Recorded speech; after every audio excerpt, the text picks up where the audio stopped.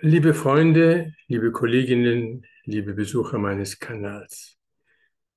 Ich möchte euch neuere Einsichten zu den Themen frühes Beziehungstrauma, limbisches System und Rekonsolidierung mitteilen. Wir sehen immer deutlicher, dass tiefsitzende Selbstwertprobleme, negative Glaubenssätze, zum Beispiel ich bin schuldig, ich bin falsch, ich habe kein Recht zu leben und glücklich zu sein, aber auch eingefahrene Verhaltensmuster die Folge früher Beziehungstraumen sind. Diese Veränderungen können nicht leicht beeinflusst werden, bisweilen auch nicht durch lange Therapien. Manche Betroffene erleben sich dann wieder als Versager. Das verstärkt natürlich die Selbstabwertung der Betroffenen. Diese Veränderungen können ihr ganzes Leben prägen, auch ihre beruflichen und privaten Beziehungen. Denn diese Themen sind unbewusst gespeichert im limbischen System. Das limbische System. Belastende Erfahrungen, die mit überwältigenden Gefühlen von Angst, Wut, Ohnmacht einhergehen, werden zusammen, sozusagen als Konglomerat, mit den beteiligten Personen der damaligen Situation im limbischen System gespeichert. Dieses limbische System ist ein entwicklungsgeschichtlich früher Gehirnteil, der bereits vor der Entwicklung des Großhirns wirksam wird und daher dem Bewusstsein gar nicht zugänglich ist. Das ist auch der Grund dafür, dass diese im limbischen System gespeicherten äh, Elemente vom Bewusstsein, dem Kortex, nicht kontrolliert oder verändert werden können. Sie bestimmen das Selbstbild, das Erleben und das Verhalten des Betroffenen, ohne dass dieser das bewusst steuern kann. Daher erlebt er das als inneren Zwang, der ihn hilflos macht. Dazu kommt, dass das Trauma mit seinen Gefühlen getriggert werden kann durch situative Aspekte der belastenden Erfahrung von damals, Person, Ort, Sinnesreize wie Geruch oder Geräusche. Verständlich, dass die Betroffenen dazu neigen, solche Situationen zu meigern, um meiden, um nicht wieder getriggert zu werden. Das Ganze könnte verstanden werden als ein archaisches, noch sehr undifferenziertes Überlebensprogramm, vielleicht um die Wiederholung eines Traumas zu verhindern. Den Betroffenen aber bringt es nur Leid. Diese Überlebensstrategien sind stark unreflexibel, daher passen sie oft nicht in die jeweilige Situation. Dieses Programm kann auch zu Wiederholungen der frühen toxischen Beziehungen führen. Die Betroffenen suchen unbewusst ähnlich belastete Partner, bei denen sie das gelernte Überlebensprogramm verwenden können. Die Betroffenen selbst erleben sich als instabil, als innerlich zerrissen, nicht konkurrent mit sich selber solange sie diese Inkongruenz selber noch wahrnehmen, das heißt, solange sie noch eine Vorstellung von ihrem eigentlichen Wesen haben, leiden sie darunter. Das trägt zum Stress bei, der ebenfalls zu diesen Traumafolgen gehört. Andere identifizieren sich so mit diesen Traumafolgen und dem Trauma, dass sie keine Vorstellung mehr von einem gesunden Wesenskern haben.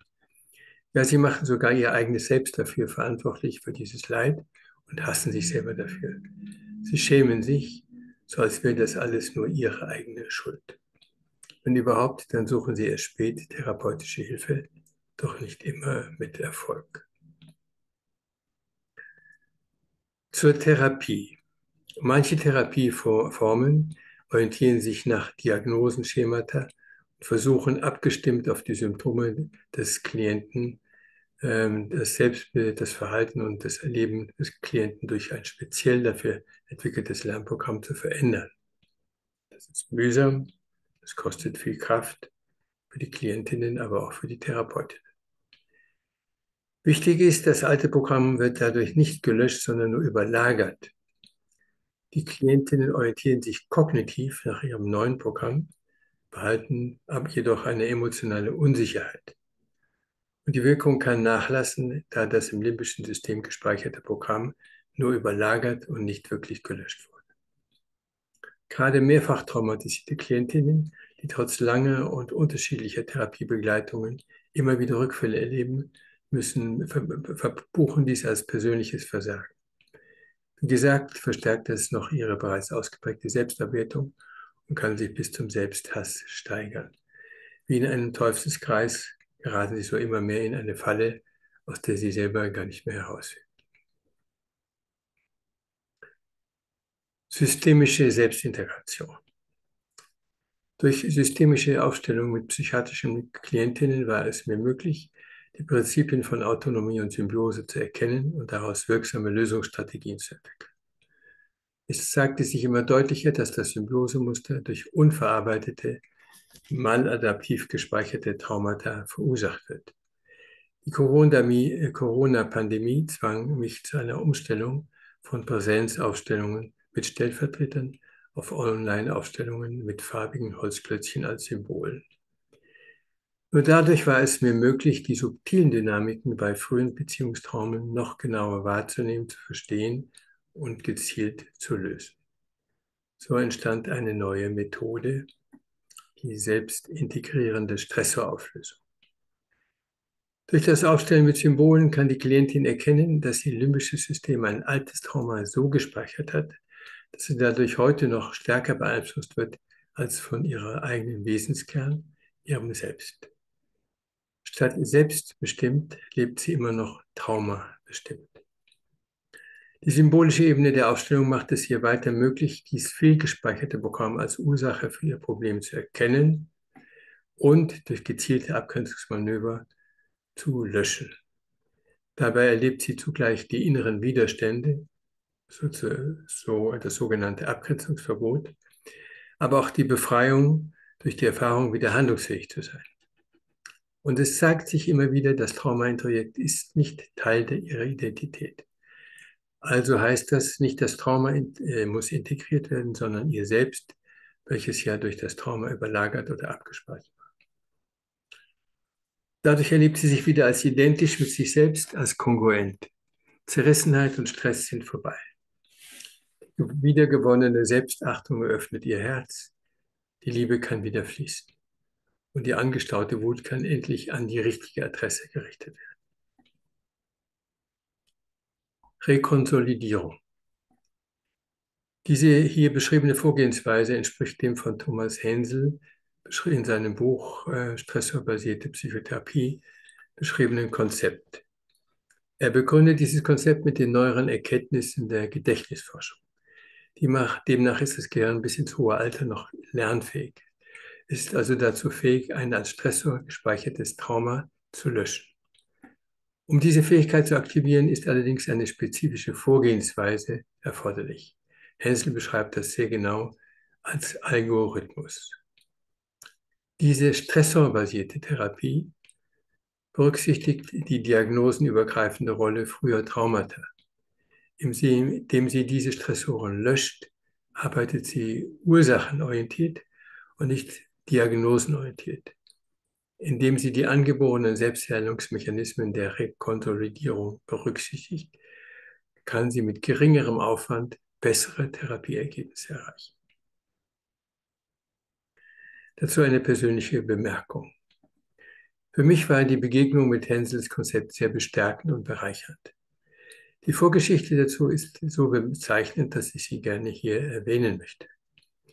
In einem traumatherapeutischen Standardwerk, ähm, komplexe Traumafolgestörungen, fand ich keinen Hinweis darauf, dass das Trauma-Introjekt reversibel ist, sodass die Behandlung der Traumafolgestörungen sekundär oder vielleicht sogar entbehrlich ist. Daher schrieb ich die ca. 30 Autoren an, um sie danach zu befragen. Keiner dieser akademischen Forscher antwortete auf die Frage eines Forschers aus der Praxis. Für mich ist das ein Hinweis darauf, dass in unseren akademischen Instituten immer noch ein hierarchischer Stil herrscht, mit einem vorauseilenden Autoritätsgehorsam, der Innovationen eher blockiert, statt sie zu fördern. Siehe dazu auch die Geschichte von Ignaz Semmelweis, Wien 1847. Damals ging es um das Kindbettfieber als Folge mangelnder Hygiene der Ärzte. Oder Stanley Milgram in den USA 1960. Seine Experimente zeigten eine erschreckende Verbreitung des Autoritätsgehorsams. Beide Autoren wurden wegen ihrer innovativen Beobachtungen vom Fachkollegen angegriffen und zu Unrecht beschuldigt. Beide starben früh. Semmelweis in der Psychiatrie, möglicherweise wurde er umgebracht, Milgram an frühem Herzinfarkt und Milgram war nur acht Jahre älter als ich. Aber es gab eine Ausnahme. Einer der 30 Autoren antwortete, und das war eben Thomas Händel. Er verwies mich auf sein Konzept, wir begegneten uns und entdeckten weitere gemeinsamen, Gemeinsamkeiten, eine therapeutische Haltung, die das Potenzial unserer Klientinnen wahrnimmt und aktiviert, statt sie mit ihren Defizitsymptomen zu identifizieren. Wir wurden Freunde. Kombinierte und komplexe Beziehungstraumen. Und die Entwicklung ging weiter. Zunächst untersuchten wir nur die Auswirkungen von traumatischen Beziehungen zu einem Elternteil. Angeregt durch Beobachtung des US-amerikanischen Pioniers der Familientherapie Mara Bowen schon vor 60 Jahren, untersuchten wir das kombinierte Beziehungstrauma zu beiden Eltern. Wie zu erwarten war das Verwirrungspotenzial einer solchen Beziehung zu zwei traumatisierten Eltern noch ausgeprägter und die Lösung in einer Sitzung daher sehr viel wirksamer. Und wir untersuchten auch komplexe Beziehungstraumen durch das Hinzunehmen weiterer damals belastender Personen, typischerweise eine dominante, abwertende Großmutter. Auch aktuelle komplexe Beziehungstraumen, zum Beispiel zwischen Mutter und Ehepartner, können mit diesem Format untersucht und gelöst werden. Ich bedanke mich für Ihre Aufmerksamkeit.